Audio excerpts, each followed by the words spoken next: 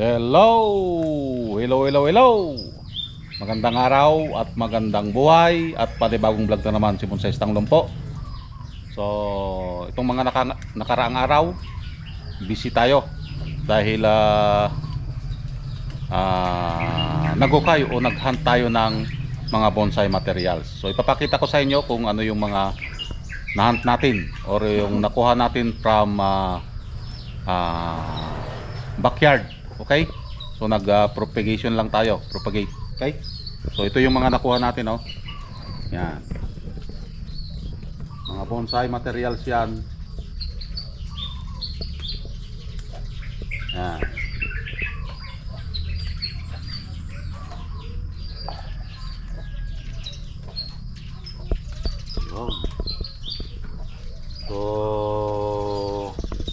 Ito yung mga nakuhay nakuha or nahukay. Maghapon. Okay dahil uh, mahirap naman maghunt ng ano or maghukay.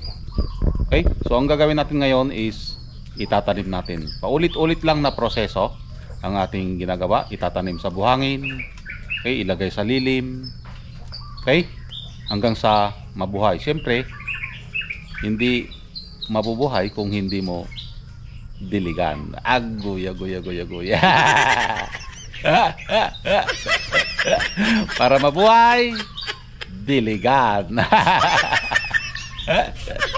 okay.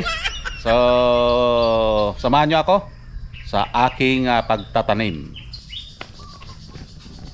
So, kung makikita nyo is buhangin. Okay? Buhangin lang yung inilalagay natin sa pagpapabuhay ng bonsai materials. Okay? Kasi kapag uh, lupa ang ating gagamitin, kahabang uh, dinidiligan natin, ito ay lalong tumitigas, nagiging tabla. So, ang tendency, ang uh, mga ugat o root hair na tumutubo, hindi makapenetrate kaagad. Unlike sa buhangin, ito ay uh, madali lang makapenetrate kapag tubuan ng ugat or root hair. Okay? So, ganun lang ang ginagawa natin dahil ang uh, kanyang ugat ay pinutol-putol natin. Okay? So, ang ugat kapag tubuan dapat dire-diretso yung kanyang root hair. Okay? Para mabilis mabuhay. So, katulad din nito, uh, kinuha natin So pinutol natin yung uh, ugat nito at pinipilian yung uh, mga sanga na maiiwan at yung hindi dapat na isali. Okay? So ganito din yung mga iba pinapainal cutting natin yun lalong lalo na yung kanyang ugat. Okay? Ito rin ay isang hibiscus pinalaki din natin sa ground katiting, dang, katiting lang din yan kalaki. Ang liit parang uh, walis ting ting so pinalaki natin ng ganyan for how many years? And then kapag uh, pwede ng airbase kukunin na lang. Okay? So ganito din ang pagtatanim natin. Puro buhangin. Wala tayong nakitang lupa. Okay?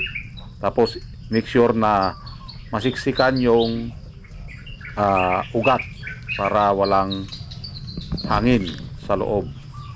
Yan. Kailangan tusok-tusukin agoy agoy agoy. Yan. Isuksok mo bebe. Kailangan isuksok yung uh, mga dapat isuksok doon. Okay? Para walang puwang or hangin. Ganun din ito. Bubuhangin lang. So wala tayong nakitang lupa talaga. Okay? So kapag kayo ay nagpapabuhay ng uh, patay, agoy, agoy, agoy, agoy. Nagpapabuhay uh, ng bonsai materials. Okay? Ganun lang ang anyong gagawin. I tanim sa buhangin. Ganun din ito. I-defoliate natin. Tanggalin yung uh, papakainin iwan lang natin yung mga sanga na kailangan yan so kapag naalis na yung mga dahon pwede na ulit itanim. Isa din ito, itong hibiscus na ito. Nakita nyo yung kanyang katawan. So from cuttings din ito, lumiko-liko. Okay? So ganun lang ang ah, magpabuhay sa ground. Okay? Hayaan mo muna, pa-wildin mo para magkaroon ka ng ah, ah, malaking bonsai. Kasi kapag ito ay ilalagay mo lang sa isang container at maliit, so mahirapan siyang lumaki. Okay? So kailangan i-buhayin muna sa ground and then kapag pwede nang i-harvest, harvestin na natin katulad ng nakikita natin ngayon. Ito ay isang 21 jewels. Ayun. Finger finger hanggang sa mapuno yung puwang sa loob. ano daw? So yun guys, natapos na nating itanim yung mga nakuha nating ah, bonsai materials. So ipapakita natin ngayon. Okay? So camera, ipakita mo. Ito yung ah, hibiscus.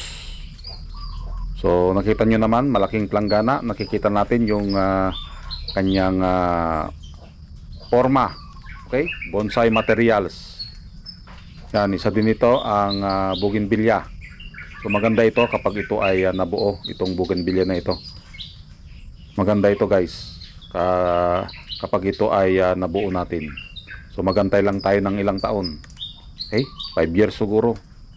Mabuo na yun. Sa din ito is 21 jewels. Or isang lahi ng uh, bougainvillea. So iba't ibang ah, materials, bonsai materials ang nakuha natin. Ito, hibiscus din ito. Isang uri ng ah, gumamela. Okay? So, nakita nyo, wala pang mga kamay, wala pang mga ah, sanga.